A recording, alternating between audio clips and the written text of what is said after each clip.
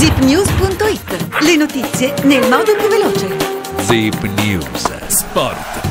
Ben ritrovati dalla redazione sportiva in studio Edoardo Paradisi. Apriamo con il calcio Coppa Italia questa sera Milan-Torino nella gara degli ottavi di finale di Coppa. I rossoneri ricevono a San Siro i Granata tra i numerosi infortuni e la necessità di fare turnover. Pioli dovrebbe rivoluzionare la squadra puntando per la prima volta dall'inizio sulla difesa 3.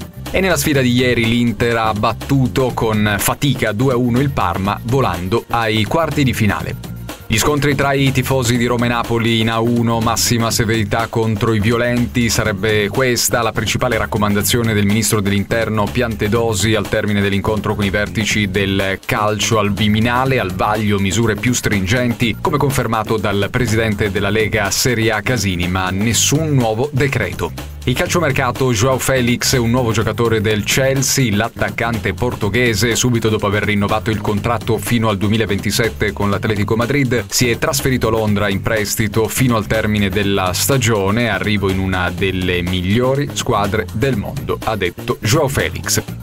Il tennis Melbourne allarme Djokovic lascia l'allenamento per un problema muscolare, il risentimento al bicipite femorale della gamba sinistra che si era fatto sentire ad Adelaide non è passato, Nole ha abbandonato il campo dopo 36 minuti e diversi stop.